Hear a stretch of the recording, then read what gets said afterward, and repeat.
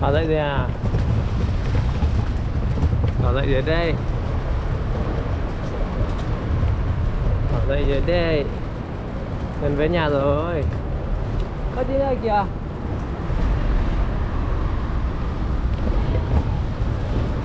Ok. Nhìn thấy rồi thì ok.